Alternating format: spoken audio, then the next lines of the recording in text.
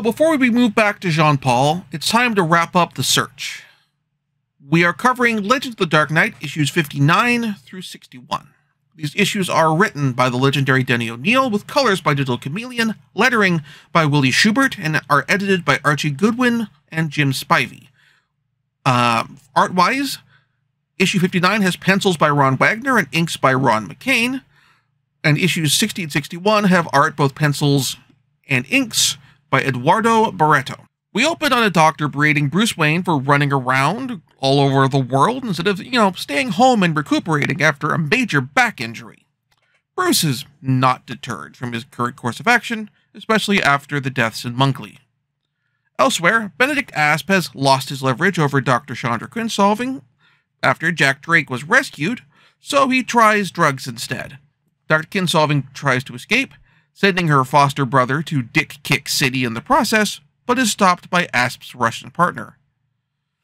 After he retrieves Dr. Kinsolving so he can drug her, Asp then asks the Russian if he would deal with another little troublesome individual, Sir Hemingford Grey.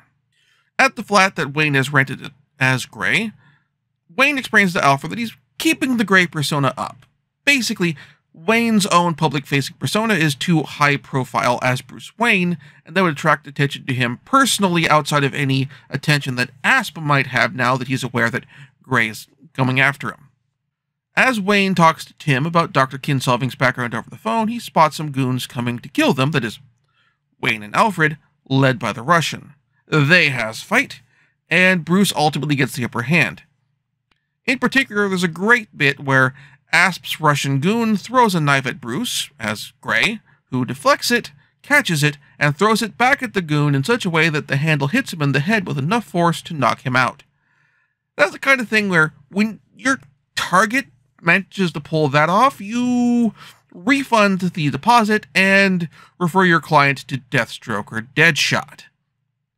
In any case, this leads to Bruce and Alfred returning to the US to investigate the home and family that adopted both Asp and Dr. Kinsolving. We intercut between Asp and Kinsolving, with Asp using drugs to break down Kinsolving's resistance to murder, and the foster mother of the two being interviewed by Bruce, where we learn that they were adopted by a pastor who was a domestic abuser and a racist, and who the two's foster mother suggests adopted Shondra so that he could have a child he could feel good about beating. Eventually, Asp and Shondra, in addition to learning that they could use their powers to heal, would also allow them to kill at a distance and without trace, which in turn let them kill their abusive father before both ran away. The, their mother, or adoptive mother, says that she did not intervene to stop the abuse because it's implied she did not feel that she could do so, perhaps with, the, with her having also been abused in the pro- process. The mother is aware of Shondra's powers, at least, and has received a postcard from Shondra after she graduated from med school at which point she changed her name, where she mentioned that she had not used her powers since. And then Bruce and Alfred don't get much more information out of the foster mother, as Asp manages to finally break through Kinsolving's defenses, and the two of them kill their last remaining foster parent. We continue with Bruce getting a briefing from Tim as to what Asp has been up to since childhood, as Bruce and Alfred return to Gotham. During this, Asp tries to use Dr. Kinsolving to murder Grey, but it doesn't quite work, though Bruce does take a bit of a psychic hit. Bruce is checked in at Gotham General for a checkup, where they see on the news that Asp, through a pseudonym, is extorting the governments of central country, several countries, taking credit for the deaths in Monkley and the death of Hemingford Grey. The doctor at Gotham General once again says that Bruce should stop running around. It's doing his spine dirt, and he needs to get some bed rest for a while before starting any sort of physical therapy or, or activity. When Bruce insists that he needs to act on this, Alfred resigns. Alfred takes a cab to Wayne Manor, where he then persuades, persuades Jean Paul to keep an eye on Bruce. A cobweb, disgraceful, dust, barbaric. What do you want? I asked you a question. I came looking for you. You found me.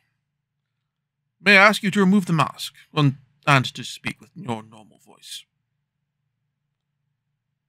Okay. I have come to ask for your help. For yourself or for him? For Mr. Wayne. Listen, he quit. I'm the Batman now. Yes, precisely. You are the Batman. And he needs the Batman. Bruce Wayne needs me? Someone very powerful will try to kill him soon. He refuses to take precautions. His only hope is for you to watch over him and intervene when it becomes necessary. Not interested. Sorry, Mr. Pennyworth. I could appeal, to your vanity. Tell you that Mr. Wayne's enemy could be the most dangerous criminal on earth, and that to capture him would be a splendid feather in your cap. Yes? I shall not. Instead, I ask a simple question. Are you what you claim to be? Are you the Batman? Don't doubt it for a second. And would the Batman refuse to help someone in mortal danger? Would the Batman condone murder? Would he, Jean Paul? Tell me. Mr. Wayne is a patient at Gotham General Hospital. If he's not there, you might look for Sir Hemingford Grey. Batman should require no more information than that. Let's stick a pin in this. I'm going to get back to this later. Elsewhere, in Gotham, Bruce makes his presence known as Grey in a big, flashy way to make headlines, forcing Asp to send men to capture him. That night, Wayne, in disguise as Grey, waits for Asp's men after sending a digital dead drop recording to Robin on a delay. And for good measure, he hires a decoy to pose as Wayne to draw off as Bat and to make sure the kidnapping is successful. The final issue of this arc opens with Asp interrogating Wayne's decoy. It intended to be clear to the reader that Wayne suspected that Alfred would go to Jean Paul and did this to keep Jean Paul from screwing up his plan. Somewhere in the Car- Caribbean, presumably Santa Prisca, Bruce has come to and is interrogated by Asp over how he survived. Bruce uses this opportunity to get Asp to let slip how his attack works. Asp doses Shondra to get her to use the weapon again, as Bruce drops the Grey voice to urge her to fight it, and in turn causing her to get flashes of Bruce, of Sir Hemingford Grey, and of Batman. Now, I don't recall if Shondra has actually encountered Batman before this, but it's interesting that she mm, draws this connection. In Gotham, Gordon calls Robin to the GCPD, where he reveals that he knows there's been a change of Batman, that the original was on Sir Hemingford Grey's boat, and that they're in Santa Prisca so he can't help them, both for uh, legal jurisdictional reasons and also because there's a hurricane coming in. It feels from this dialogue that he's one piece of information away from figuring out that Bruce Wayne is Batman though it's also possible that he may have already figured it out at this point, maybe. Speaking of which, in Santa Prisca, Wayne comes to and goes out of the room where he was held, using some knockout gas in his chair to take out a guard. He finds Shondra, who is in a partially mentally regressed state because of the drugs. They talk, with Asp listening in on the bug. Shondra reveals that she knows Bruce is, or was, Batman, and that being forced to kill is taking a lot out of her mentally. At this, Asp and his goon come in to force Shondra to kill Bruce. They, Bruce, Asp, Shondra, and Asp's goon has fight. Ultimately, Bruce manages to stick Asp with his own drugs, and Shondra manages to turn her brother's power back on himself, killing him with Asp's goon fleeing into the night. As, trop- as the tropical storm hurricane, it's a little ambiguous, racks the island, Shondra, over the course of the night, uses her powers to heal Bruce's injuries completely. In an epilogue, Bruce, now able to walk, tells Tim about buying a house with caretakers and a well funded trust to make sure that Dr. Kinsolving, now mentally regressed to childhood, and no longer remembering Bruce Wayne being Batman, is well taken care of. I understand why, when the Knightfall saga was adapted loosely into the what, what would be the Dark Knight Rises. People assumed that Bruce regaining his strength and physical ability through the use of a Lazarus pit was what happened in the comics, and with the prison being a surrogate for that. Because it's a resolute, because Bruce regaining his strength through a Lazarus pit is a resolution that doesn't involve some manner of fridging one of Bruce's love interests. I do, do wonder if, given sufficient time and without the impending massive Zero Hour, they would have had Ra's al Ghul introduced into the story to restore the man who Ra's would have succeed him whether he wants to or not. Because, like, in all seriousness, every discussion I'd seen of the Knightfall saga before this, um, and by before I mean before I did this this project, everyone said, "Oh yeah, he got his ability to walk back through a Lazarus pit." with like a almost Mandela effect degree of regularity. There was no mention ever of Dr. Kinsolving at all. It's like she didn't exist. And when my previous exposure to the story, well, well before this project, through advertisements in comics and also reading the junior novelization by Alan Grant, um, I could have swore like that one also featured Dr. Kinsolving.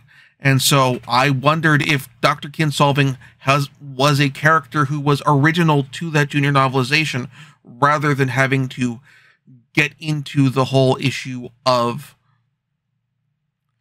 of Ra's al Ghul and his history with Batman.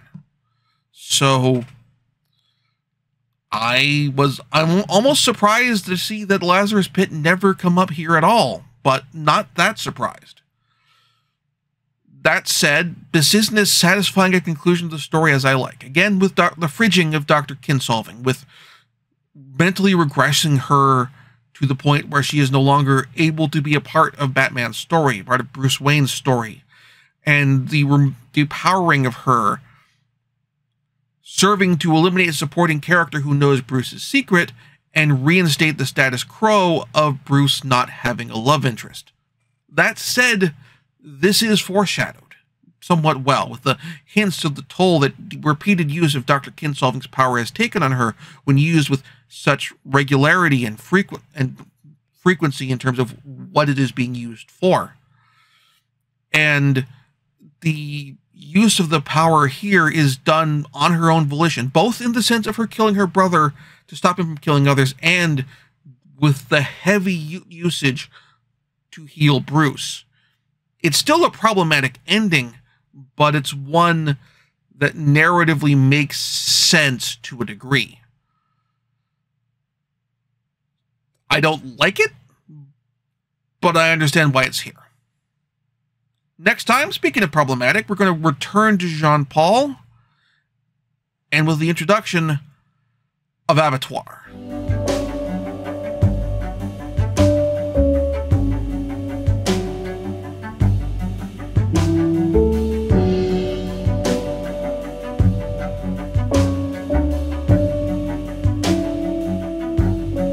Thank you very much for watching. If you enjoyed the show, please like and subscribe. And also consider backing my Patreon. Patreon backers get episodes up to one week early of this show and any future Let's Plays.